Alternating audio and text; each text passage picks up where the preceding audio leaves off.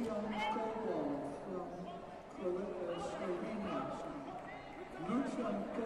from Slovenia. from Slovenia, we have your accreditation here.